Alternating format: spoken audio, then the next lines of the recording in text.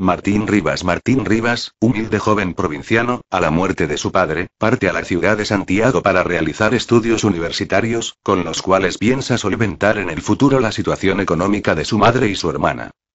Ya en la capital, se hospeda en casa de un antiguo conocido de su padre, don Damaso Encina, hombre rico y de pocas luces, quien lo recibe bien, pero siempre marcando la distancia entre ellos. Don Damaso le encarga llevar la correspondencia y las cuentas de sus negocios, ofreciéndole una retribución mensual. Martín rechaza el pago pero no la tarea, argumentando la deuda moral que lo une a la familia Encina por haberlo recibido como huésped. En el hogar, don Damaso cuenta el incidente y su hija Leonor externa un comentario agrio, pues ve esta actitud del joven como una maniobra muy hábil para congraciarse con ellos. Rivas, como buen provinciano, pasa por un periodo de adaptación a su nuevo mundo. El desconocimiento de las costumbres citadinas, en relación con la gente humilde, lo lleva a un altercado con los zapateros de la calle, hecho que le cuesta el encarcelamiento durante algunas horas. Esto provoca la burla de Agustín, el hermano de Leonor, situación que lo obliga a considerar las diferencias sociales y económicas existentes entre él y la familia Encina.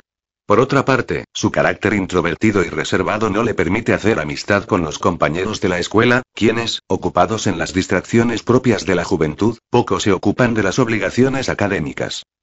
La conciencia de su pobreza y el naciente amor por Leonor acentúan la soledad del protagonista. Don Damaso, para sacarlo de tal aislamiento, lo invita a las tertulias que noche a noche se ofrecen en su hogar, argumentando que para un futuro licenciado es necesario relacionarse con la gente pudiente del lugar. En las tertulias, la política es el tema central de la charla entre los asistentes masculinos. Cada reunión aborda el tema de la posición conservadora del gobierno y la lucha que contra este sostiene la Sociedad de la Igualdad, integrada por miembros del Partido Liberal. En el transcurso de la narración, Don Damaso pasa de liberal a conservador al considerar la posibilidad de ocupar el puesto de senador. Al principio, Martín se muestra reservado. Pero cuando se le pide su opinión, sin manifestarse a favor de los liberales, declara a los contertulios estar en contra de los mecanismos represivos que comienza a implantar el gobierno.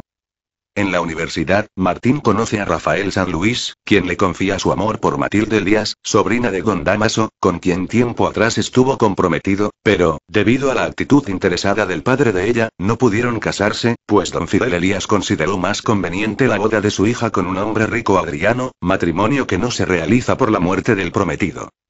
A raíz de esta confidencia, Martín interviene en los conflictos amorosos de la familia y consigue reconciliar a Matilde con Rafael. Pero estos al final no se casan por un desliz amoroso de San Luis quien, con gran dolor en el corazón por su amor frustrado, se integra de lleno a la lucha de los liberales.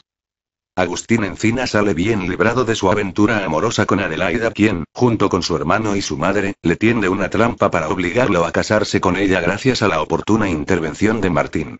Este descubre el engaño y, en nombre de don Damaso, negocia con Amador, hermano de Adelaida, la indemnización económica a la familia por la conducta irresponsable de Agustín.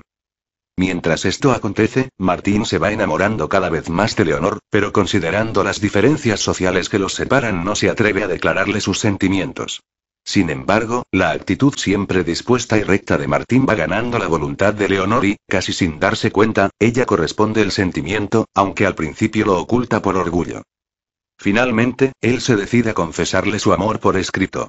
Sin embargo, la ayuda que Martín presta a Edelmira, hermana de Adelaida, librándola del matrimonio que su madre planea para ella, hace suponer a Leonor un nexo amoroso entre Martín y Edelmira, y pospone el momento en que se aclare la situación. Martín abandona la casa de los Encina al darse cuenta de la desconfianza de Leonor.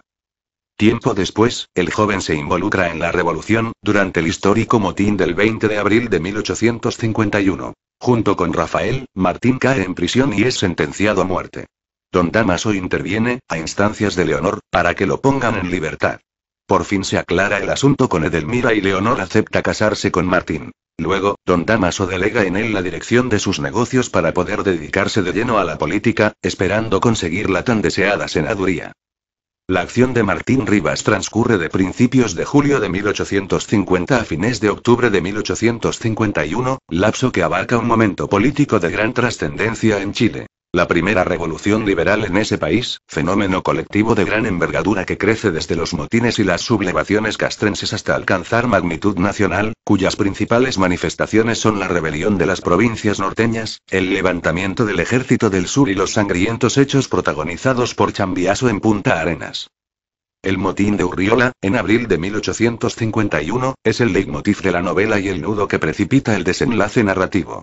Por otra parte, en la obra se hacen resaltar el heroísmo y la consolidación de la ideología burguesa.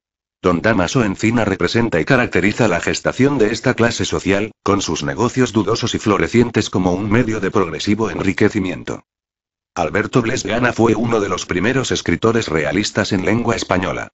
Martín Rivas, publicada en 1862, es una excelente novela cuyos valores literarios más importantes radican en la diversidad de situaciones, la descripción objetiva de costumbres sociales de la época, la trama narrativa que combina la lucha y hace contrastes entre conservadores y liberales en Chile, la consolidación de la burguesía y la pintura de los personajes y de sus amores, exentos de toda afectación y de excesiva carga sentimental.